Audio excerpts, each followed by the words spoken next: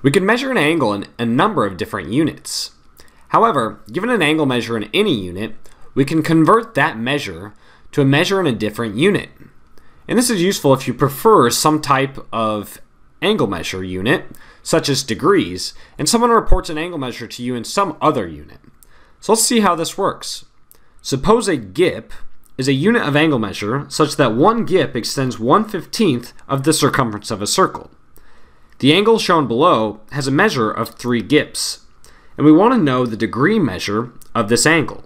First of all, if we look at this diagram, each one of these tick marks along the circle represents 1 15th of the circumference of the circle. So each one of these tick marks ticks off 1 15th of the circumference, which is 1 gip. So this little green arc here is 1 gip. And then we can see that this angle does have a measure of 3 gips. Now there's 15 gips in the full circumference, and this angle's rays cuts off 3 of those gips.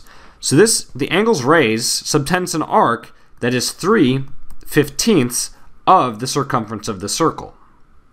Now if you compute 3 fifteenths, you get 0.2, which is 20%. And so the angle's rays cuts off 20% of the circumference of the circle. Now we know that there's 360 degrees in one full circumference, so if the angle's rays cuts off 3 fifteenths, or 20% of the entire circumference, then it should cut off 3 fifteenths of those 360 degrees. Now, 3 fifteenths of 360 degrees is really 72 degrees. So this angle has a measure of 72 degrees.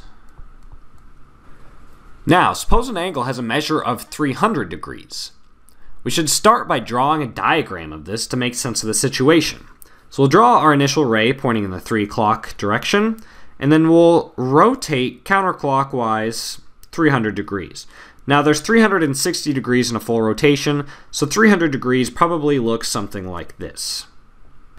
Now, after drawing our angle, we generally draw a circle centered at the vertex of the angle. So I'll draw a circle here. It's not a very good circle, but imagine that's a circle centered at the vertex of this angle. Now the angle's rays cut off an arc along this circle. So those angles rays subtend an arc, which I have here in red. In this arc, subtended by the angle's rays, is 300 times as large as our unit, which is 1 360th of the circumference. Now we know there's 360 degrees in a full circumference, so if this angle's rays cut off 300 degrees, then the angle's rays cut off 300 360ths of the circumference of the circle. Now if you compute 300 divided by 360, you should get about 83.3%. So the angle's rays cut off about 83.3% of the circumference of the circle. Now, if this angle's rays cut off about 83.3% of the circumference, and there's 15 gips in the full circumference, the angle's rays should cut off 83.3%, or 300 360ths, of those 15 gips.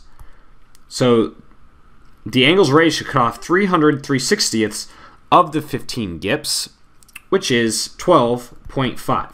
So this angle has a measure of 12.5 gips.